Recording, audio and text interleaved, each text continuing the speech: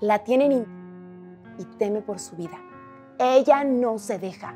La actriz trans Coco Máxima nos abrió su corazón para hablar del éxito que ha tenido este 2023. Y es que, sin duda, que la actriz haya obtenido un papel estelar en una telenovela fue un rotundo triunfo para ella y para la comunidad LGBTQ. Es todo un ejemplo a seguir. Pero lamentablemente, no todo es miel sobre hojuelas. ¿Por? Resulta que ha recibido múltiples mensajes de haters en redes sociales que la tienen...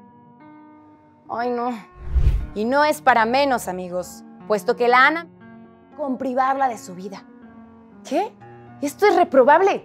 La famosa se encuentra tan aterrorizada que no descarta que cualquier día de estos atenten contra ella. Esto es un tema realmente serio. Coco nos dio santo y seña de la situación e incluso mandó un mensaje contundente a la audiencia. Adquiere el nuevo número de tu revista TV Notas, impresa o digital, y no te pierdas ningún detalle.